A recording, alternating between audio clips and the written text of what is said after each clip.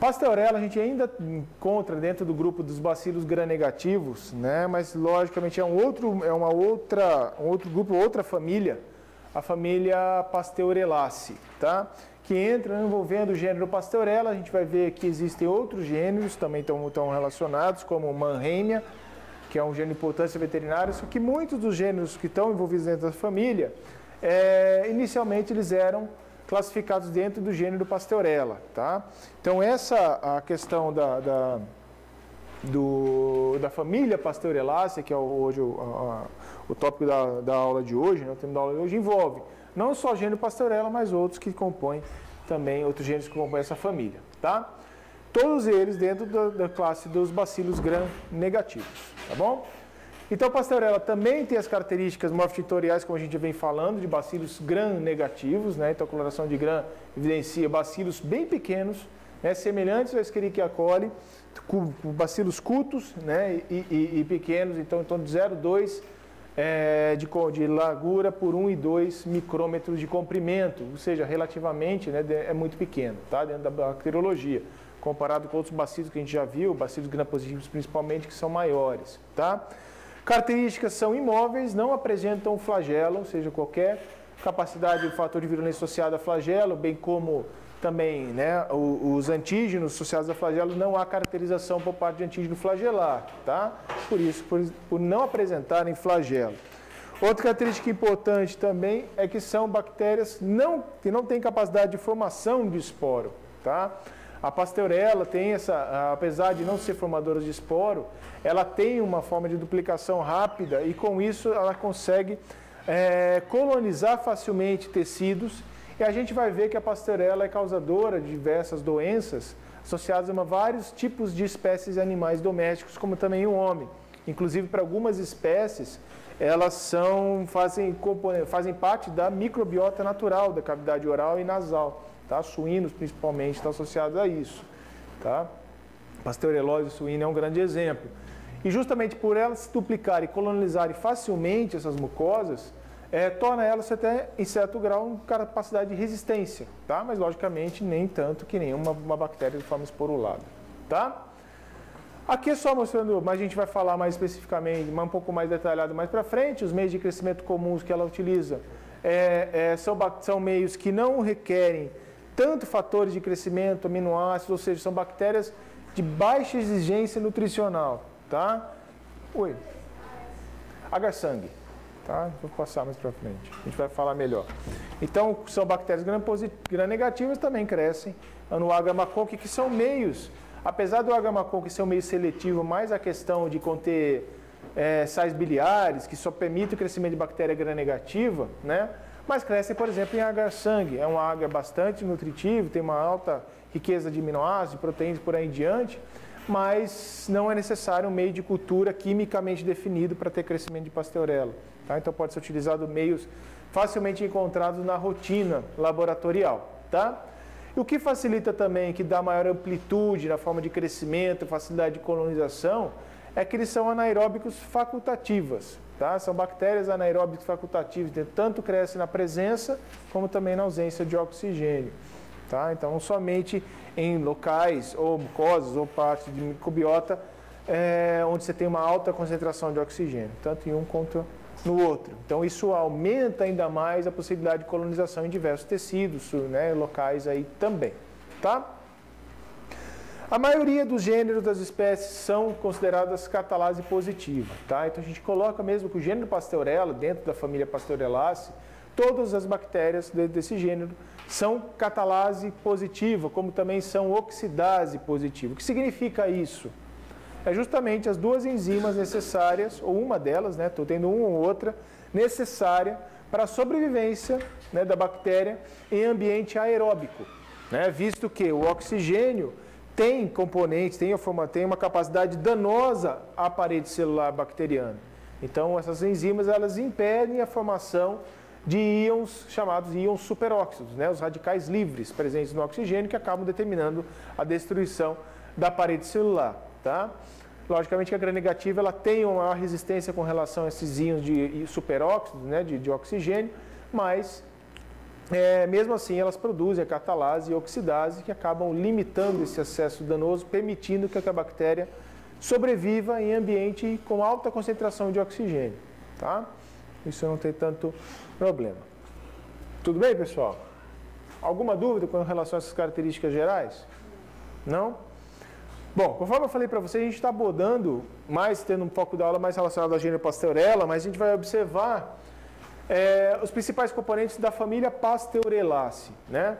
Só para título de curiosidade, né, o Pasteurella justamente vem do descobridor, ou do primeiro que, que acabou isolando, né, que foi Louis Pasteur. Então foi o bacilo que Pasteur isolou e logicamente ele denominou aí, né, classificou, denominou, fez nomenclatura dessa bactéria com base no nome dele. Né? Então por isso que é a Pasteurella, é, é, nome aí justamente em decorrência da, do pesquisador, do Louis Pasteur, né, considerado ainda um dos precursores, o pai da microbiologia na era de ouro, né, dentro da microbiologia aí, tá?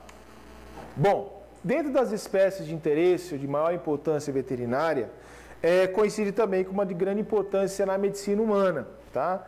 que é a Pasteurella multocida. Não sei se vocês já ouviram falar dessa, dessa espécie de Pasteurella. Tá? É a mais comum e, consequentemente, a mais patogênica, tanto para o ser humano como também para a ampla maioria das espécies de animais. Tá?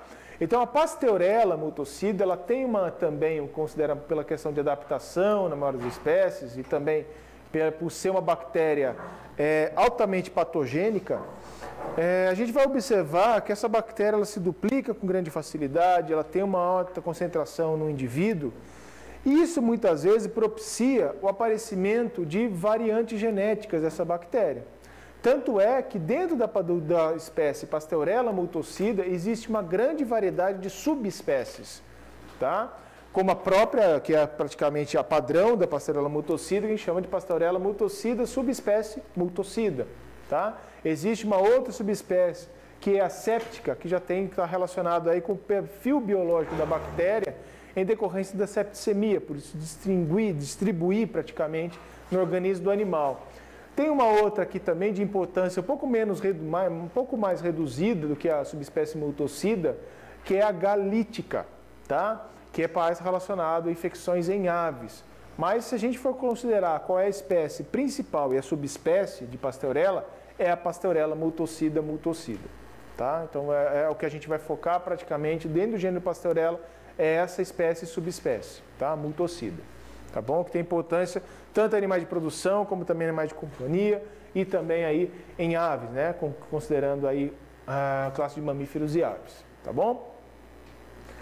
Outra bactéria importante, outra espécie importante dentro daí no caso da família Pasteurelaceae é uma bactéria chamada Mannheimia, tá? Mannheimia hemolítica. A Mannheimia hemolítica, próximo do próprio gênero Mannheimia, tá? é, ela está dentro do gênero da família Pasteurelaceae porque justamente antigamente, digamos acho que uns 10 ou 15 anos atrás, ela era classificada como a Pasteurella hemolítica. Tá? Então, devido a adventos aí de biologia molecular, de, de, né, de sequenciamento genético, de características genotípicas e também, obviamente, fenotípicas, ela foi reclassificada para um gênero distinto da pastorela, que é a Mannheimia, tá? ficando aí somente o sobrenome hemolítica é, né, dado aí da classificação anterior. Então, pastorela Mannheimia hemolítica causa um problema significativo também dentro da produção, principalmente em, em, em suínos, mas também em bovinos, tá? É, de importância, grande importância, grande repercussão na clínica de animais de produção, tá? De grandes animais aí também, tá bom? E por último, né, lógico que eu destaquei mais a pastorela mutocida, que é o, digamos assim, o carro-chefe aqui da, da família Pasteurelaceae, mas a Mannheimia tem importância. E além disso, tem uma terceira e última espécie, que é a Pasteurella trehalose, tá? A Pasteurella trehalose também, antigamente classificada como Pasteurella hemolítica, só que muda é o biotipo, que era o T, tá? Ela tem uma reclassificação e também tem uma grande importância na produção de bovinos. Tá? A trihalose são as três espécies mais importantes dentro desse, dessa família Pasteurelaceae. Tá? A classificada. Logicamente, o principal né, seria aí a estrela principal desse gênero, a Pasteurella mutocida, subespécie mutocida. Tudo bem? Dúvidas? aqui? Então, foco da aula a gente vai falar de fatores de virulência, características de crescimento, a gente vai, pegar como modelo a pastorela multocida, tá bem? Que serve também, característica de crescimento, uma coisa, com análise, morfologia, serve para as outras bactérias também. Semelhantes, né? Algumas características podem servir. Tá ok? Onde que é encontrado esse grupo, essa família bacteriana? Tá? O habitat dessa bactéria é justamente um, ela tem uma característica comensal, ou seja, ela faz parte de determinadas espécies da própria microbiota do trato respiratório superior. Tá? Então está presente na mucosa, seja na, na mucosa nasal, na mucosa oral. Falei mucosa oral aí, tá? Perdão. Né? Então, do trato respiratório superior. Então, isso pela característica que ela tem de duplicação, de facilidade de colonização, ela coloniza o trato respiratório superior da maioria das espécies de animais domésticos, tá? Isso inclui também as aves, tá bom? É uma bactéria altamente sensível no ambiente, então o ambiente é algo inóspito para a bactéria. Diferente do que a gente falou no gênero passado, a gente falou das enterobactérias, né, do grupo das enterobactérias, onde grande parte, apesar de elas fazerem, comporem parte da microbiota intestinal dos animais, de aves e mamíferos, o ambiente não era algo inóspito. Né? Então elas estavam presentes em água, em, em solo, em, em né, decorrência para eliminação das fezes.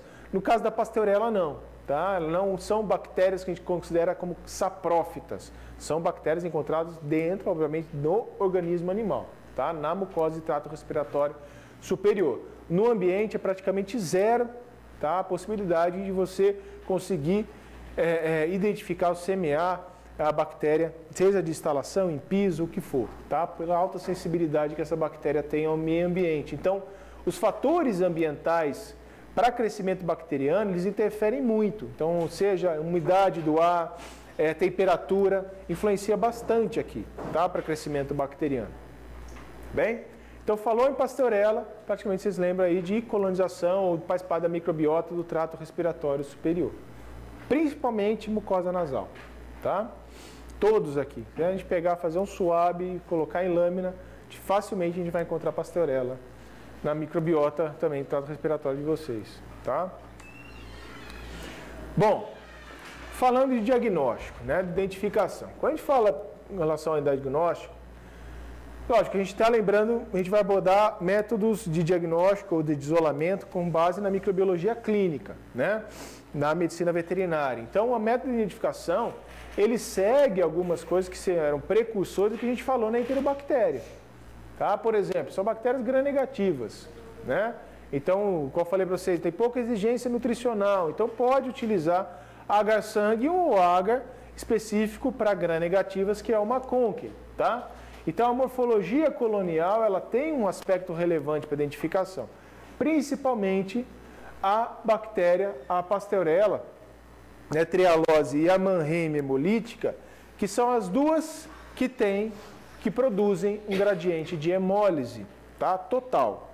Bom, mesmo assim, elas não são classificadas com base no gradiente de hemólise. Então, a gente não existe aqui alfa, beta ou gama hemolítica, tá? Somente tem ou não tem a presença de hemólise.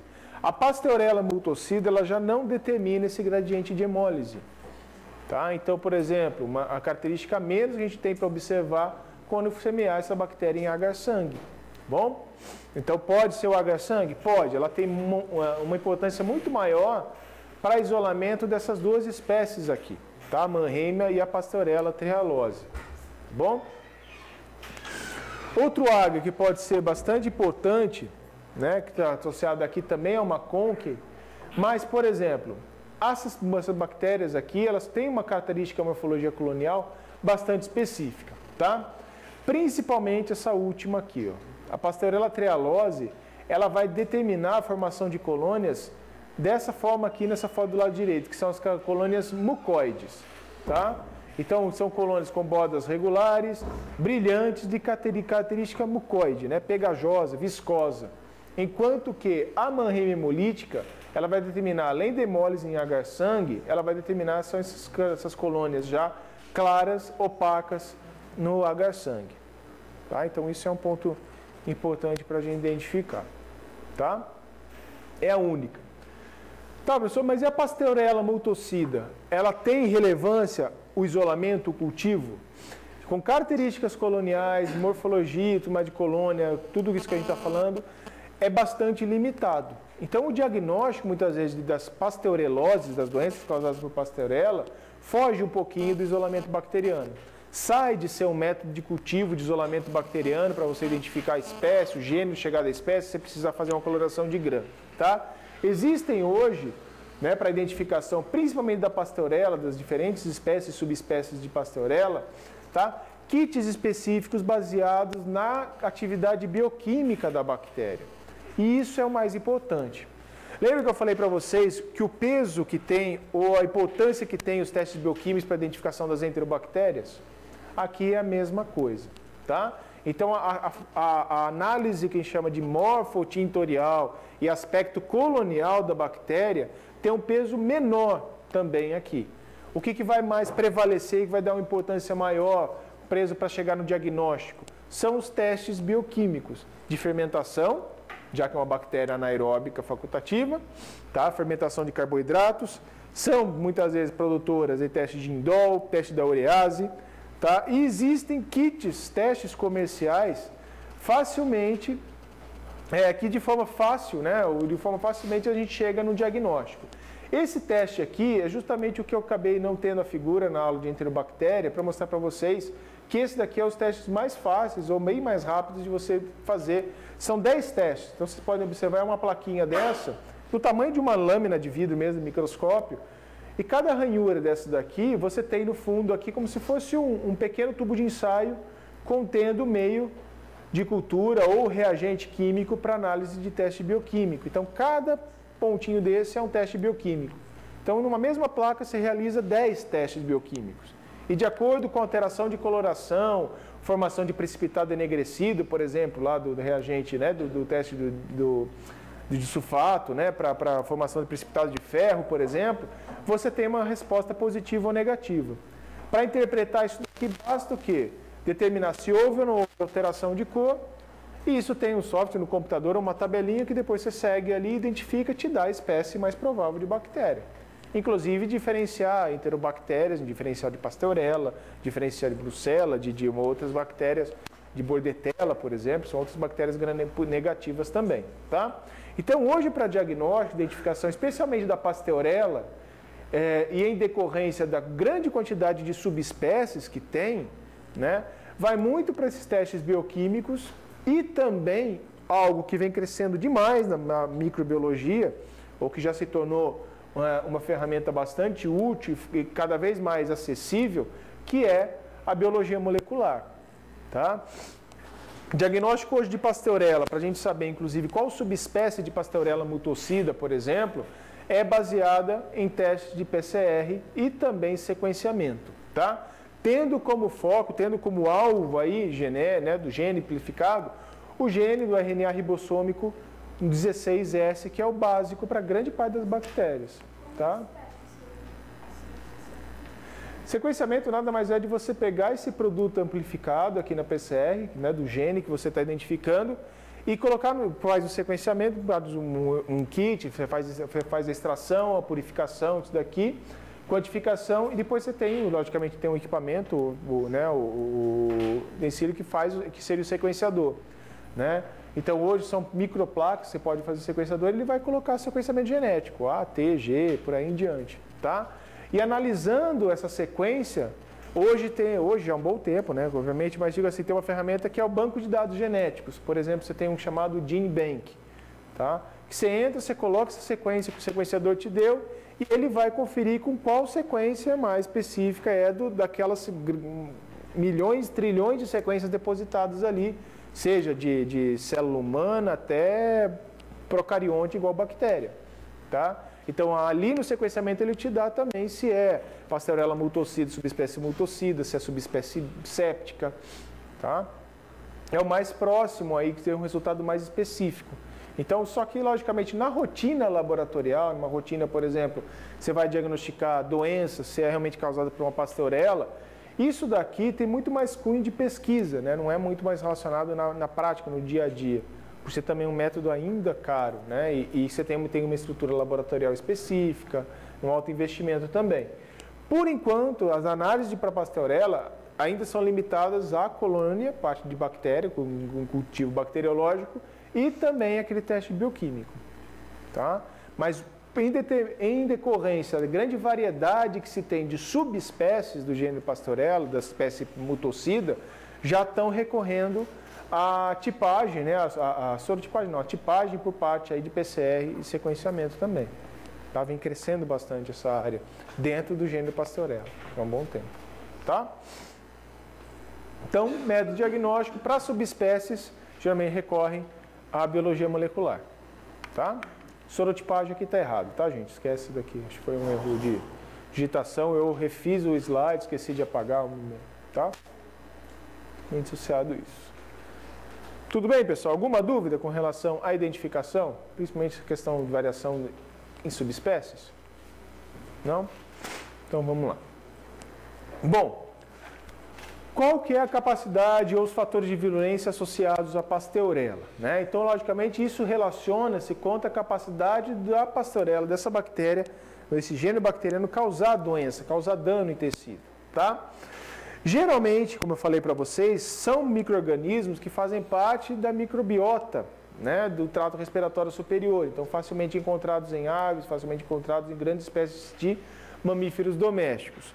No entanto, mesmo elas colonizarem esse trato respiratório superior e terem uma característica comensal né, com o hospedeiro, elas são consideradas patógenos evidentes, mesmo sendo um organismo para muitas espécies endógeno, que fazem parte da própria microbiota. Tá? O que, que limita a questão da patogenicidade dessa pastorela, mesmo estando presentes ali? O sistema imunológico.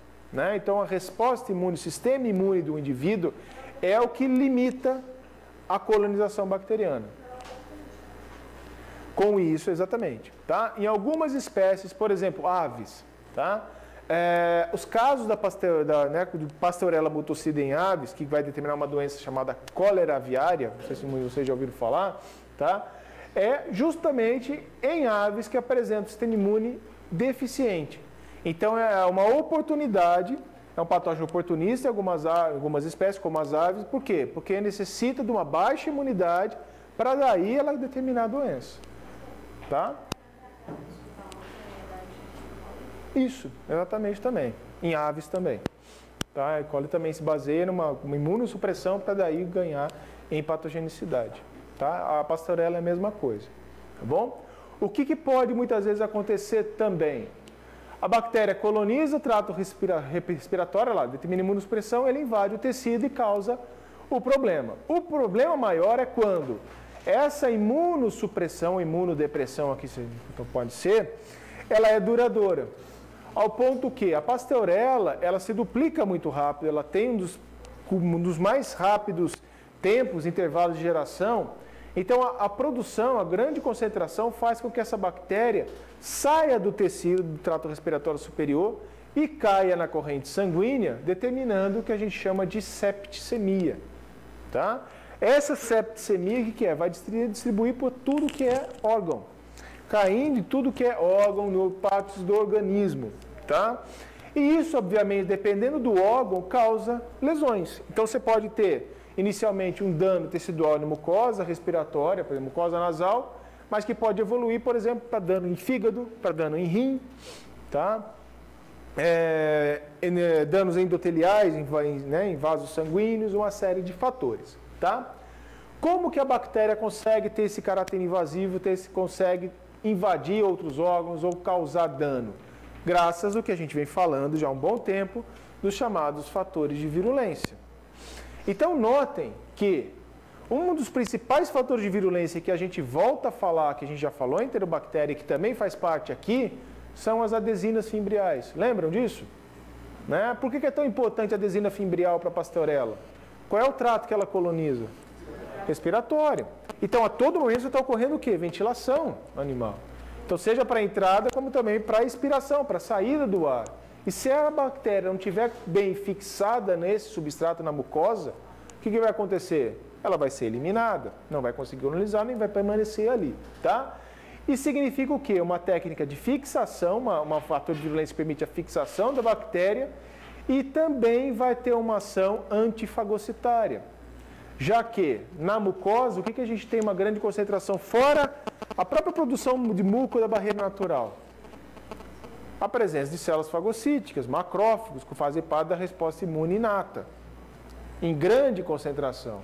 Então é uma forma também de prevenir, de impedir com que ocorra fixação por parte de determinada dessa célula determinando aí impedimento da realização da fagocitose. Tá? Impede o englobamento dessas partículas da bactéria pelos fagócitos. Tá? Não que ela seja uma coisa que impeça totalmente, ela dificulta essa questão, então aumenta a possibilidade de sobrevivência.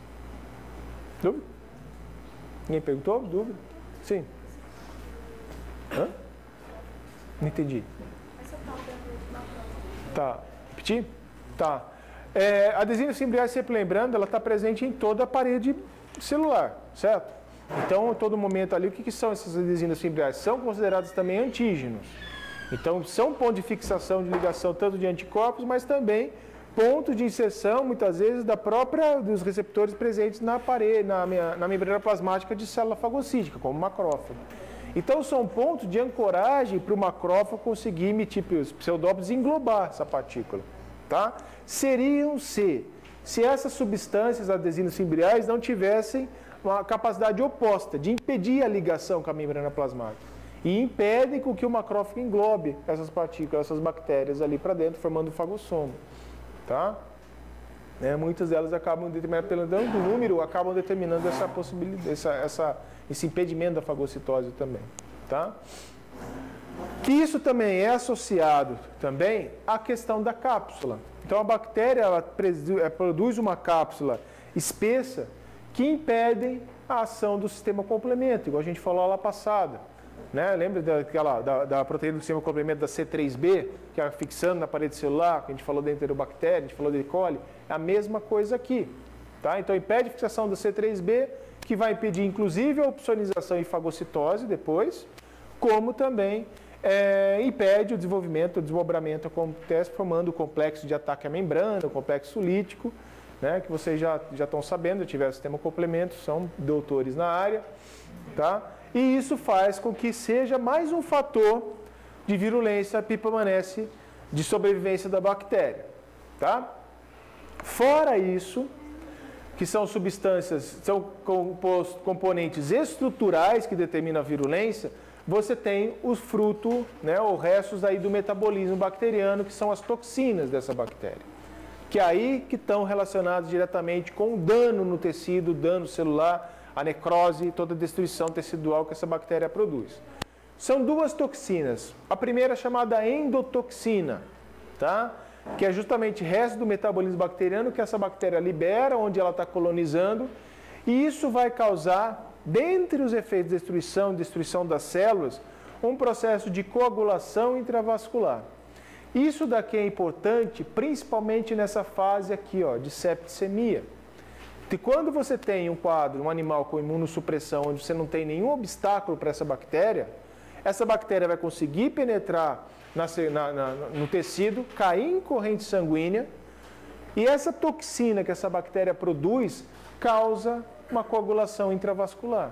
O que, que isso significa para o animal? Para o que, que isso vai determinar para o animal? Logicamente, problemas de circulação, né? Pouco baixo aporte sanguíneo, seja onde esses coágulos forem apresentados, e dependendo da septicemia, isso daqui vai criar um quadro clínico chamado de coagulação intravascular disseminada também, que a gente falou também nas aulas passadas de enterobactéria, tá? Então, obviamente, isso aqui pode determinar um processo é, de coagulação de forma disseminada que pode culminar com a morte do animal também. Isso é muito visto em suínos, tá? morte súbita de suínos decorrente da septicemia da pasteurela. Tá? Outro ponto importante de toxinas é com relação às chamadas leucotoxinas. O que significa leucotoxinas? Tem a ver com, o próprio nome está falando, leucócitos, né? ou seja, são produtos do metabolismo bacteriano que são tóxicos para os leucócitos. Tá? Então isso daqui diminui a característica, a possibilidade de destruição bacteriana por leucócitos. Tá? Então isso faz também com que essas bactérias resistam por mais tempo. Somente aqui o que vai dar conta com relação à pastorela, ou uso de antibiótico, ou mesmo uma resposta imune específica, por parte aí da formação de anticorpos, né, produção de células, de células citotóxicas muitas vezes, tá? Para ativação dos macrófagos. Tá bem? Então, dano tecidual diretamente, fatores são as toxinas e o que permite a colonização e sobrevivência são essas estruturas bacterianas, as adesinas e a cápsula. Tá? São os quatro principais fatores de virulência da bactéria. Perdão. Tudo bem? Dúvidas com relação a esses fatores de virulência? Claro na parede celular, tá? Tudo bem? E aqui são alguns exemplos, algumas fotos de danos né, relacionados à septicemia bacteriana. Então a gente pega, por exemplo, problema grave respiratório, né?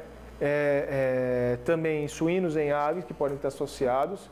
E notem, estão vendo esses pontos brancos? É uma característica que a gente chama de lesões piogranulomatosas, tá? Ou seja, a presença da bactéria, a colonização apresentando tanto em rim, né, a gente consegue observar como também fatores aqui, você tem danos em pele, tá, em, mucosa, em submucosa, tá, em pulmão, que está no trato respiratório inferior aqui já, tá, são lesões onde a bactéria ela determina uma inflamação, uma, uma inflamação muito generalizada e de bastante acentuada com relação à infiltração de células inflamatórias no local que ela está. Tá? Então acumula muita célula inflamatória, isso vai causar uma necrose tecidual e a resposta disso daqui acaba sendo o que? A formação de uma grande quantidade de pulso no local, tá? que está associado a esse processo. Tudo bem? Além disso, né, você tem lesões outras que ocorrem, é, lesões em tecido subcutâneo, tá? envolvidos aí em abscessos, tá? podendo inclusive a pastorela pela septicemia determinar problemas neurológicos, inclusive. Tá? Então, por exemplo, você tem isso aqui, um quadro em coelhos, por exemplo, associado à pasteurelose, que é a, né, então seja aí pela, pela forma com que o animal permanece em estação, questão de equilíbrio, percepção, né, que seria o pescoço torto aqui seria um dos exemplos, tá? Mas notem a consistência das lesões, ó, a quantidade de pus, ó, né, e necrose que determina. Bom é que todo mundo já almoçou, né, não tem problema para a gente ver isso inclusive danos oculares, ó, tá? Algo bastante grave. Tá bem? É verdade? Comeram batata recheada? Né? Parecido aqui, ó, né? Uma coisa assim, tá bom? Então, às vezes comerem batata recheada, vocês abrem, põe bastante catupiry em cima, assim, olha lá. Maravilha. Tá bom?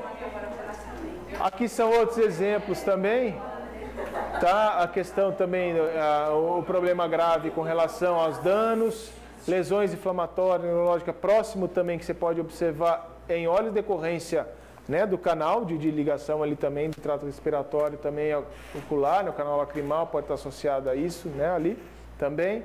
E aqui também são lesões do trato respiratório inferior, então vamos mostrar né, um edema, tudo que pode ter lesão próximo ao trato respiratório superior, pode ocorrer um agravamento em decorrência da pasteurela também, porque ela está presente ali, ela pode prejudicar ainda mais também o quadro, tá? Podem estar associados.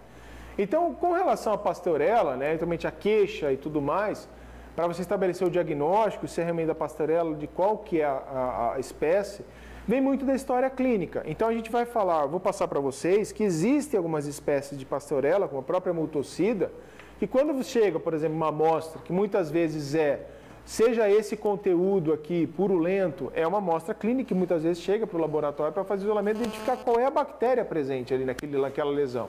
Tá? Se ela vem acompanhada do local que foi coletada essa amostra, da espécie animal, facilmente a gente correlaciona a pastorela. Tá? Então, por exemplo, em bovinos, você tem muita lesão próxima, né? provavelmente lesão ocular, ou canais, lacrimal, conjuntiva, que podem estar associados à infecção por pastorela, pela proximidade do local também, tá?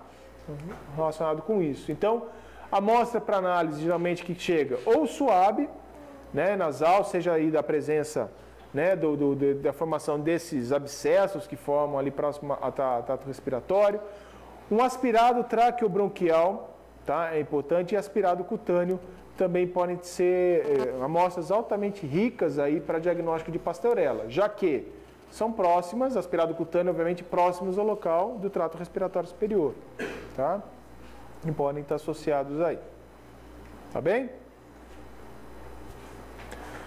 Dúvidas com relação a isso? Tá? O que, que você pode ser feito com essa amostra aqui?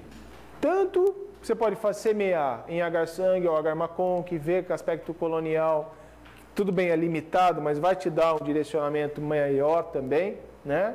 E a partir daí você faz a coloração de grã daquela colônia, você vê que a bactéria é gram-negativa, tá? Outra técnica que pode ser utilizada diretamente no fragmento, no órgão, seja no aspirado e tudo mais, é a coloração chamada de coloração de Ginsa. Não sei se vocês já ouviram falar. Tá? Quando estiverem na, na disciplina de patologia, professor Ricardo e Lucena, vocês vão falar bastante, mim, na questão da histopatologia. É uma técnica bastante empregada. Que nada mais é o quê? De você pegarem fragmentos de tecidos ou abscessos, né, essa amostra que eu falei para você, desses aspirados, e fazerem uma coloração que ela tem capacidade de coloração tanto do tecido, como também da própria bactéria. Então esse aqui é um esfregaço que foi feito, uma lâmina com relação a, ao trato respiratório superior, então você vê aspectos desde de, de células é, fagocíticas, você vê núcleos celulares aqui de célula intersticial, e todos esses pontinhos aqui são bactérias colonizando, isso aqui é um pulmão, perdão, tá?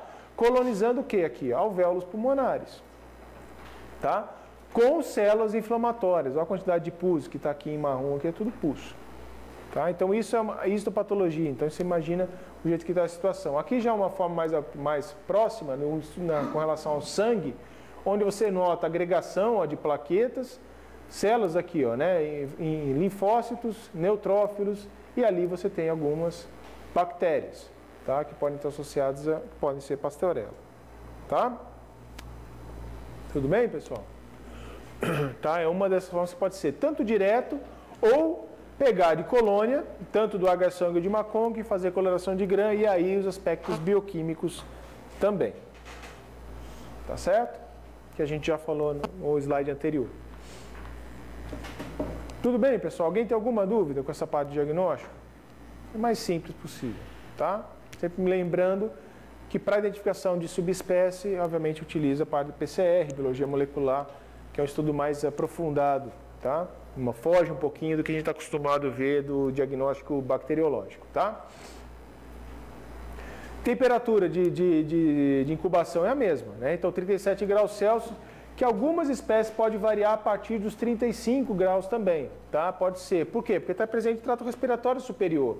Então o laboratório nada mais é que você vai simular um ambiente, né? In vitro, de uma situação em vivo. Então, 37 graus Celsius, em 24 a 48 horas, você já vai ver aparecimento de colônias, tanto em agar-sangue ou agar-macônquio. Tá bom? Tanto faz um ou outro. Dúvidas? Não? Só para listar para vocês, é, com relação às de importância veterinária, então existe uma, uma, uma, uma forma clínica em bovinos, vamos ver isso é, de forma até um pouco mais sucinta lá na, na clínica de ruminantes, com o professor Sueli e professora Sara, que é a septicemia hemorrágica, que geralmente acomete mais bovinos, mas também pode acometer bubalinos. A espécie de pasteurela é a multocida, tá? Ela já teve grande importância no Brasil, já teve alguns casos relacionados à pasteurelose bovina, mas estão mais situados em continente africano e asiático, tá? Mas no Brasil já teve essa, já teve uma alta importância também, tá certo?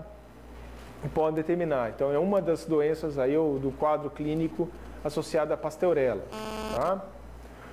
Outra em si, que é a pasteurelose bovina, essa sim, é disseminada em grande parte no mundo todo, tá? inclusive também no Brasil, que é chamada de febre do transporte. Não sei se alguém aqui já ouviu falar, ou doença do transporte. Tá? Em bovinos, qual que é o problema da questão do transporte? O que, que gera o transporte para um animal? Estresse. O estresse não pode ser um fator desencadeante de imunossupressão? Pode, né?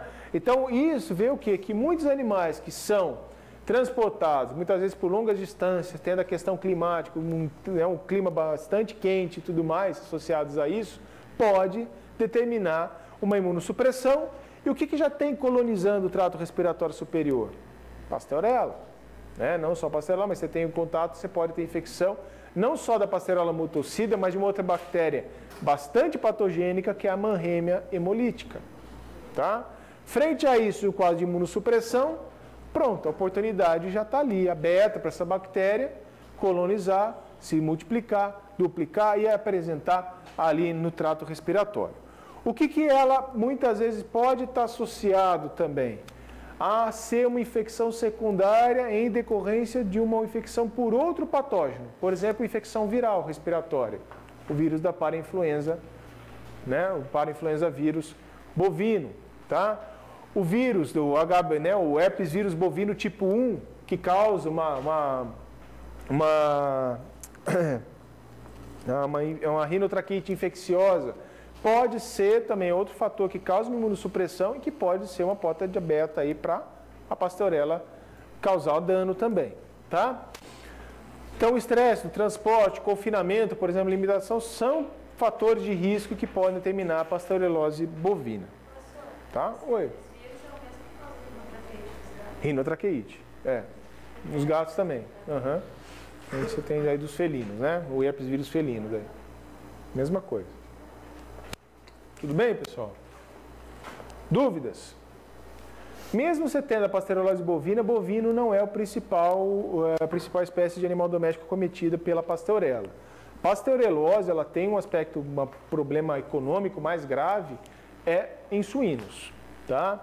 Que aqui causa uma doença, que provavelmente vocês vão ouvir falar na disciplina de enfermidades infecciosas, que é chamada rinite atrófica tá? dos suínos. O que, que tem a característica dessa rinite atrófica? Rinite, todo mundo já ouviu falar, sabe, ou tem até, né? Rinite, né? Uma inflamação constante de mucosa nasal, né? Atrófica, por quê? Em decorrência da atrofia, então essa rinite, essa inflamação obviamente causada pela pasteurella multocida, e essa lesão, o grau de lesão, ela é tão grande que, a lesão não fixa apenas tá, na, na mucosa nasal. Ela também envolve tanto ossos nasais como também a cartilagem desses animais, fazendo, destruindo. Então o que a gente tem aqui são os dois lados. Você tem aqui, por exemplo, o seio nasal, né? A cavidade nasal, inclusive aqui com o seio nasal do mané, da narina direita de um suíno normal. Então notem aqui, está tudo sendo correto, né? O, fugiu o nome da estrutura óssea. Hã? Isso, fala de novo. As conchas para isso, tá? Paranasais feitos, normais, ó, sem problema nenhum. A mucosa aqui só né, seccionar, obviamente, para corte aqui, para você observar. E notem desse lado aqui esquerdo, ó. Né, lado direito do slide esquerdo para o animal aqui, ó. Totalmente destruído, né? inclusive determinando, né, colabando aqui, ó, funções apresentando alto grau de inflamação. Então imagine uma situação onde você tem um grande dano tecidual na mucosa grave, pegando aí também a questão de cartilagem e também óssea da estrutura da narina. Né? O que, que isso desenvolve no animal? Sangramento. Tá? Constante. E o que acaba prejudicando ainda mais, o que determina a chamada rinite atrófica, é que junto com a Pasteurella multocida, tá, existe a colonização de uma outra bactéria chamada de Bordetella. Tá? Então há uma infecção conjunta de Bordetella com a Pasteurella, que aí acaba, por ela já estar presente, agravando ainda mais o quadro. Isso leva principalmente o que? O animal não vai respirar direito conversão alimentar vai ser baixa, ganho de peso mais baixo, né? menor aí, com relação aos outros animais não infectados. A tendência é que isso daqui seja o quê? Descartado, né? numa granja. Então isso decorre do quê? De uma baixa ventilação, superpopulação de animais numa granja, tá? Todos causados aí pela, por essa pasteurela. Tá bem? Então a suína, né? as doenças em suínas, vocês vão, a gente vai, vocês vão ouvir falar na disciplina de enfermidades infecciosas, é, por exemplo, a pasteurelose suína, que está associado também à rinite atrófica dos suínos. Tá? É a principal espécie acometida é a, a, a espécie suína. Não coloquei no slide, mas aves também são acometidas pela pasteurela, mutocida, que daí vão determinar uma lesão chamada de cólera aviária, tá? causando prejuízo e morte muito grande em aves. Isso é, é, é quando você tem a questão de biosseguridade em granjas avícolas, é um dos pontos que se baseia para elaborar essa estratégia de segurança no aviário, é com base na capacidade de transmissão da pasteurela. Então a pasteurela, a, a ela entra como um dos principais pontos aí de, né, de, de precaução, de prevenção dentro de um manejo de aves também, tá? causado pela cólera ah, aviária. Tudo bem? Dúvidas?